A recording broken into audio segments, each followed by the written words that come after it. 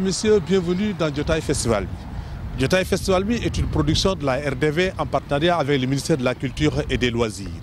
Comme vous le savez, le coup d'envoi du 3e Festival mondial des arts nègres a été donné le 10 décembre par le chef de l'État, Maître Abdoulaye Wade. Et depuis lors, le Sénégal vit au rythme et aux couleurs du festival. Et ce numéro sera exclusivement réservé au moment fort de ce grand rendez-vous du donner et du recevoir. Je disais donc que depuis le 10 décembre, Dakar est la capitale mondiale des arts et de la culture. Et plus de 60 pays participent à ce grand rendez-vous pour revisiter l'histoire du continent, identifier des pistes de redressement qu'on peut appeler la renaissance africaine, thème central du festival. L'adage Wolof dit Chin Cela veut tout simplement dire l'auteur que dégage la marmite annonce que la sauce sera succulente ou pas.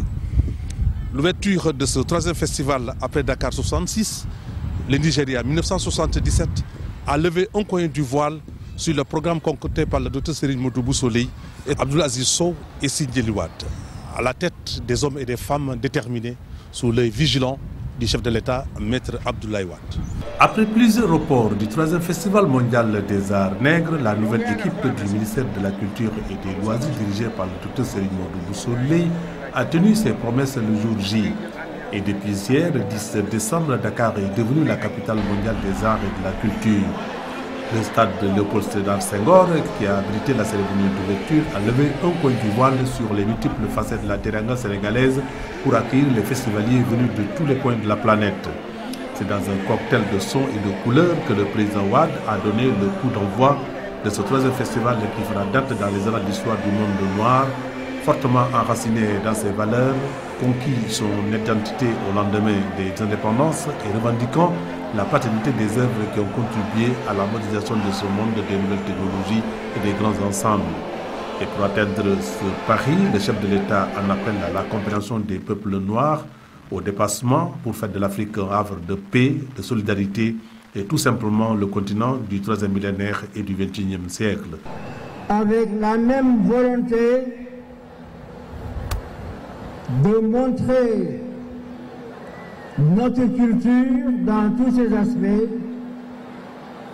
et la même volonté tendue vers la construction de l'Afrique et le renforcement des relations de notre continent avec sa diaspora. Charité bien ordonnée commence par soi-même. La mobilisation du peuple sénégalais, notamment les artistes et les jeunes, illustre que l'appel du chef de l'État a été favorablement accueilli à travers les exhibitions, la prestation des grands artistes et les chorégraphies. En attendant la journée des chefs d'État, le 14 décembre, les présidents du Cap-Vert, de la Guinée-Bissau, de la Guinée équatoriale et de la Mauritanie ont assisté à la cérémonie d'ouverture. Malgré un passé douloureux, marqué notamment par la traite des esclaves, la déportation et plusieurs décennies de colonisation aux conséquences désastreuses. Plusieurs jours durant, des centaines d'artistes de notre continent et de la diaspora noire rivaliseront d'ardeur dans cette belle ville de Dakar pour porter face au monde un témoignage convaincant de la richesse et de l'originalité des arts nègres. Le président Ouad, qui a rendu un vibrant hommage aux précurseurs de la civilisation noire, le Sédar Senghor, Aimé Césaire, Léon Damas, entre autres, a une fois de plus enfilé sa robe d'Aoka pour les États-Unis d'Afrique. Le chef de l'État avait à ses côtés quatre présidents africains à l'occasion de l'ouverture de ce festival. L'Afrique a connu trois siècles de maltraitance et de division. Le festival est venu à point nommé pour mettre à nu les barrières artificielles imposées par la colonisation. Le président Wad campe le débat sur la renaissance africaine. C'est devant un parterre de savants intellectuels d'Afrique et de la diaspora en provenance de 60 pays que le professeur Abdoulaye Wade, président de la République du Sénégal, a une fois de plus plaidé pour les États-Unis d'Afrique. Dans sa plaidoirie, Ouad a convoqué l'histoire du continent pour établir la vérité sur la période coloniale, l'esclavage, les affres de la traite négrière et le combat des Africains pour la construction d'un monde moderne. Le président Ouad, un professeur panafricaniste, a toujours dans ses modules d'histoire et de géographie sur le continent pour ressourcer les assoiffés de leur identité ou africanité. Un membre de la délégation du Brésil m'a dit mais il faudrait associer le Brésil. Le Brésil peut vous aider.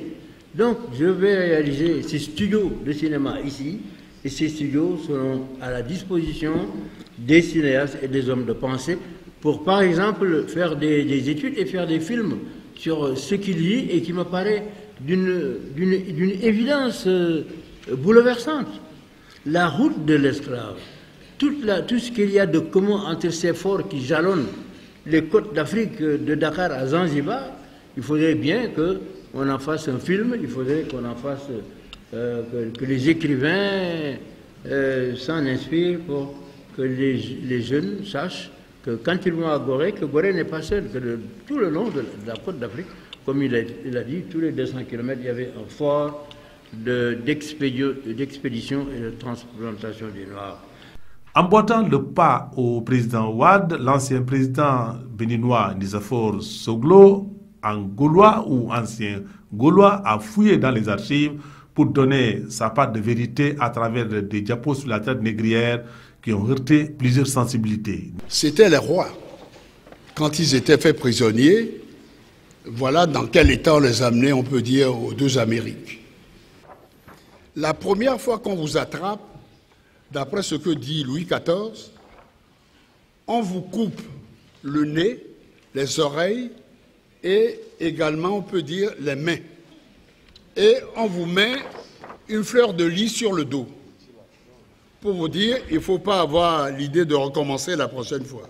Tout le monde se souvient, évidemment, on connaît que dans quel état on peut dire on amenait les Noirs, ce n'était pas pour leur confort, donc on les mettait comme des sardines dans les bateaux.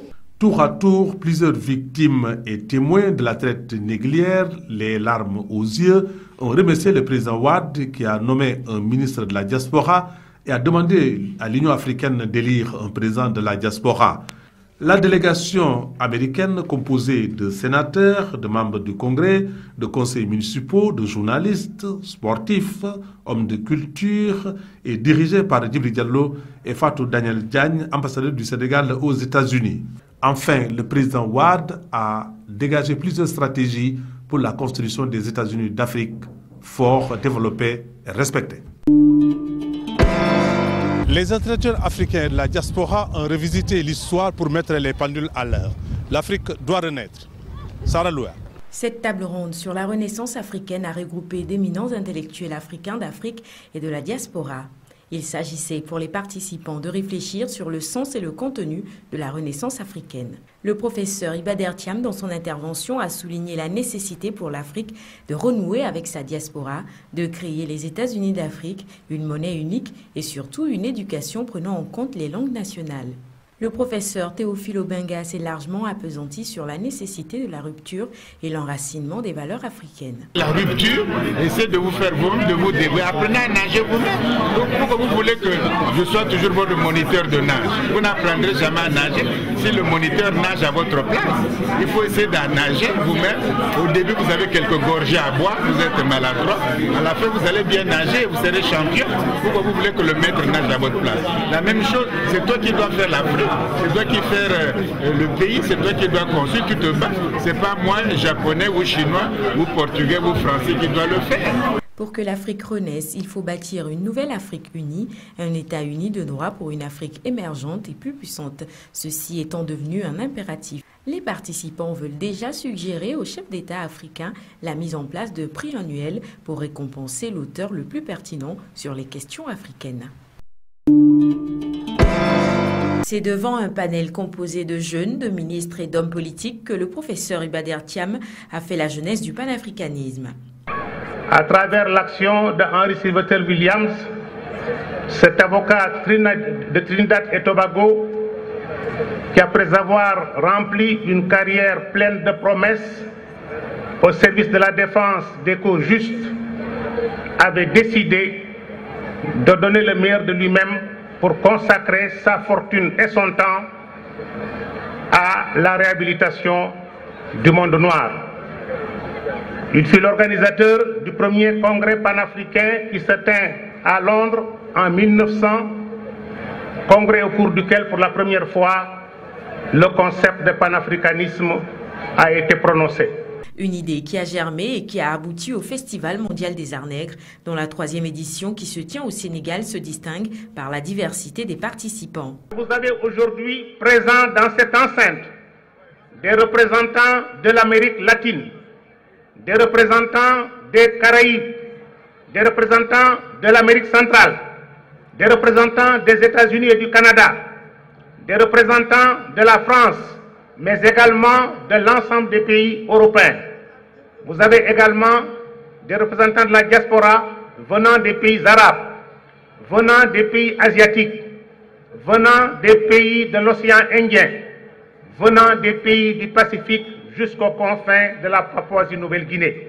Le chef de l'État, Maître Abdoulaye Wade, tout en saluant la présence de ses pairs de la Libye, de la Sierra Leone, de la Gambie et du Cap-Vert, les a appelés à œuvrer pour la concrétisation de l'unité africaine. Je voudrais à ce niveau m'adresser à tous les décideurs politiques et économiques pour leur exprimer l'espoir que nous avons dans leur clairvoyance, leur détermination et leur responsabilité pour faire de vision afin d'installer résolument l'Afrique unie dans la gouvernance mondiale.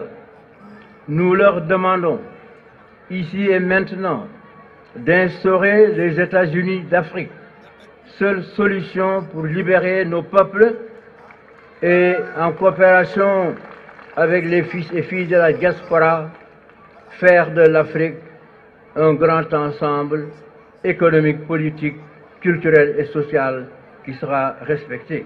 Pour le guide de la République libyenne, cette unité africaine passe par l'union des forces armées africaines, rappelant que des forums sont organisés pour réfléchir sur la thématique de la renaissance africaine. Le président Wade disait que le continent africain est riche, très riche, mais il a été économiquement appauvri. Mais la culture est là pour établir la vérité. L'égyptologue Cheikh Anta Diop en a dit long les intellectuels ont parcouru ces œuvres. Mariam Sissé. Les anciens Nubians étaient-ils ou non des Noirs? Cette interrogation a de quoi surprendre à première vue. Les réponses ont varié dans l'espace et le temps, mais qu'aujourd'hui, plus que jamais, les historiens et autres spécialistes de la question sont scientifiquement mieux armés pour répondre que oui. Cheikh Anta qui en 1954 introduit le monde noir africain, les Africains, dans le champ de la recherche égyptologique de façon claire et nette. 132 ans après le déchiffrement des hiéroglyphes par Champollion. Et du coup, les conséquences, c'est ça de cette introduction, c'est la naissance de l'historiographie africaine contemporaine. C'est ça qu'on oublie, on croit que c'est l'histoire, mais il faut voir, l'historiographie est faite de tournants, de tournants historiques. Or, c'est un grand moment, qu'on soit expert ou non, qu'on connaisse ou pas. Mais il y a un problème, il y a un questionnement désormais. C'est des découvertes. Après, ça part du domaine commun, du domaine de tout le monde. On croit que c'est évident, c'est facile, j'aurais pu le faire, etc., etc. Bon, mais il faut voir les, origines et les jeunesses pour mieux comprendre l'apport de quelqu'un dans le travail intellectuel scientifique. Réunissant plusieurs intellectuels, ce forum a été une occasion de retracer l'histoire de la civilisation égyptienne. L'égyptologie est née en 1822 et évidemment c'était une science, disons, davantage européenne, occidentale. Euh, les savants, les instituts, les recherches, les équipes de recherche, les musées. Et l'Afrique était purement simplement écartée. Euh, donc, euh, 132 ans après le déchiffrement des hiéroglyphes par Champollion, en 1954, euh, Cheikh Anta Diop introduit l'Afrique noire, disons, dans la science égyptologique. C'est ça, la nation agriculture. On introduit, souvent on oublie, on croit que c'est un livre, etc. Mais il faut voir l'apport épistémologique en général On était exclus par la force des choses du champ de la recherche égyptologique. Et Cheikh Anta Diop introduit l'Afrique noire dans cette science-là. À savoir qu'au cours de ce forum, un vibrant hommage a été rendu au professeur Anta Diop, qui a toujours fait de l'histoire égyptienne une préoccupation à travers ses recherches et œuvres. Et il a pu démontrer que les anciens Nubians étaient des Noirs. L'exposition d'objets d'art contemporain est un moment fort de ce troisième festival mondial des arts nègres. Vraiment de plus de quatre siècles qui a transféré en Europe, en Amérique, excusez-moi, toute la vitalité de l'Afrique. Et vraiment, vous voyez, c'est vraiment au commerce régulier de, de, de transport. C'est et ça, c'est les feuilles de notes de comment les personnes qui remplissent et c'était plus compliqué pour faire tâches de tous les menaces pendant le